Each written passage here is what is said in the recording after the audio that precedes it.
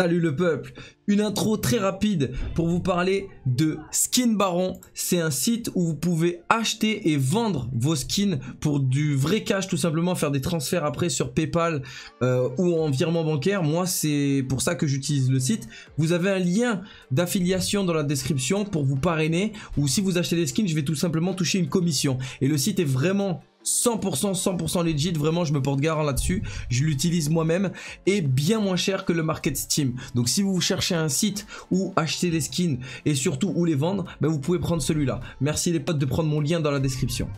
Bonjour à tous les cafardignos, bienvenue à ceux qui se sont rués sur la notification parce que vous êtes abonnés et ceux qui ne le sont pas, je vous invite profondément à le faire. Pourquoi? Parce qu'on a besoin de soutien et je remercie toutes les personnes qui m'ont envoyé des messages de soutien ces derniers temps. Si vous avez vu ma dernière euh, vidéo, vous savez, bon, c'est pas la joie, mais vous inquiétez pas les gars, on est en vie, on va charbonner fort fort fort, il y, a y a du lourd qui arrive, je vous en dirai plus à la fin de la vidéo. En tout cas, bah merci à ceux qui vont s'abonner immédiatement. Ceux qui veulent me soutenir, vous avez mon site internet malexsgo.fr sur lequel vous pouvez acheter votre matériel et je touche des commissions dessus. Donc n'hésitez surtout pas à passer par là.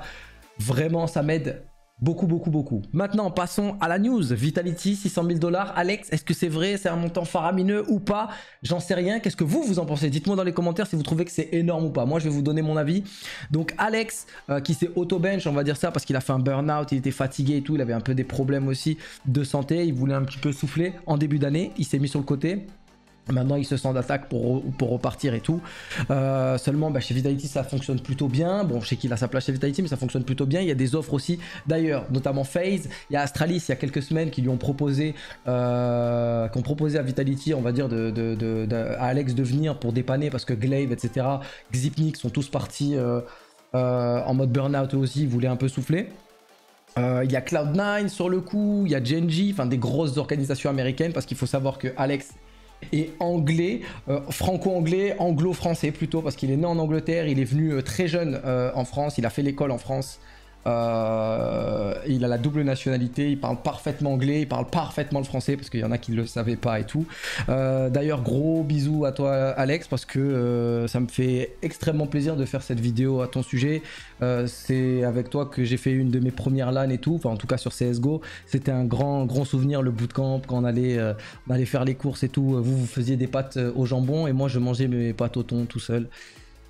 Ah, quelle tristesse, mais quel souvenir, quel souvenir, quelle nostalgie. Gros bisous à toi, Alex. En tout cas, voilà, grosse nouvelle. Euh, Vitality demande 600 000 dollars pour le transfert d'Alex, pour le libérer en tout cas et pour le laisser partir, par exemple, chez FaZe ou dans une grosse structure euh, externe. Et c'est pas un petit montant, mais attention, les gars, c'est pas un gros montant non plus. Il faut savoir que ça, c'est normal. Il faut comprendre que Alex, c'était le petit poussé chez Vitality. C'était le mec qui était sous-coté, sous-estimé. Les gens savaient pas venait du subtop. Pour ceux qui suivent la scène nationale et qui me suivent moi, vous le savez.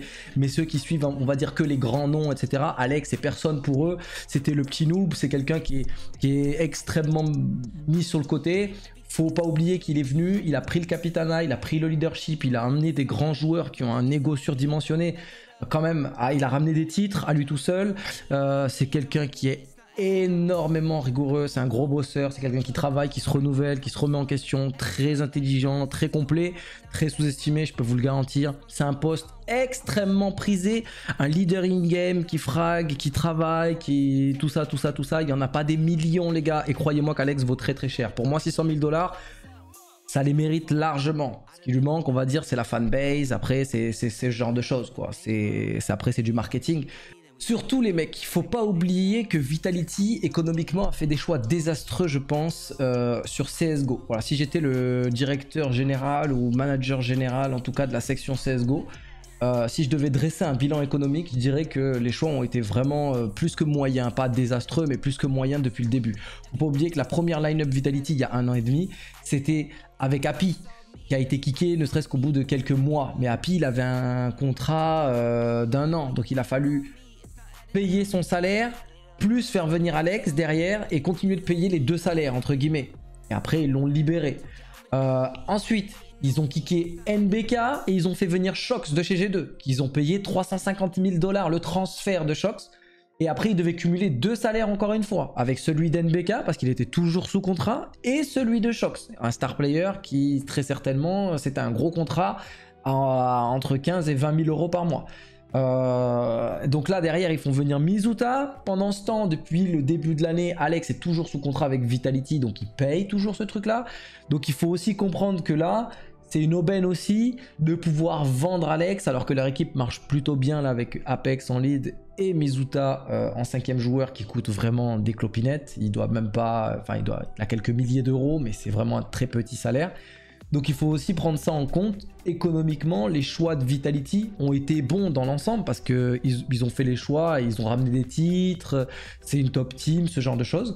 Mais euh, il y a eu de l'argent jeté un petit peu. Donc là, il faudrait peut-être renflouer les caisses et revenir en positif. Et la vente d'un Alex, d'un montant aussi élevé que celui-là, même s'il y a négociation et que ça descend à 500, 450 000, bah en gros euh, ça, referait, euh, ça referait du, neuf euh, pour toutes les dépenses un petit peu moyennes. Surtout que c'est un joueur on va dire qui était extrêmement sous-coté. Vraiment croyez-moi il vaut en tout cas son pesant d'or on va dire ça comme ça. Vous qu'est-ce que vous en pensez? Dites-moi dans les commentaires et dites-moi si ça vous a plu cette vidéo, cette petite news, cette petite actualité autour de la scène française et d'Alex là notamment et de Vitality parce que là ça va, ça va faire, euh, ça va faire jaser maintenant que c'est sorti on va dire publiquement parce que euh, je pense qu'il euh, va partir très très vite. Honnêtement c'est un énorme pic Alex. En tout cas moi je te fais des gros bisous. C'était un plaisir de parler de toi. Et n'oubliez pas de lâcher des gros likes et des commentaires sur cette vidéo pour mieux, pour la référencer au mieux en tout cas. Ciao les potes